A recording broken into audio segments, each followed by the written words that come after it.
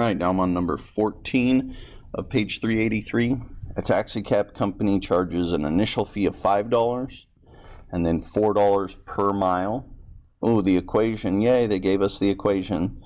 So that's the total cost equals four times the miles plus the $5 initial fee. Okay, use it to complete the table. Well, now you're just plugging in.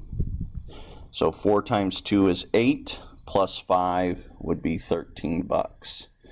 Next, you'll plug in 4. Do the same thing, figure out the cost, and continue on. I'm going to let you finish that math up. They gave you the equation, so you're just plugging in the numbers for x and then seeing what the cost will be. All right, thanks for watching, and I'll see you on the next one.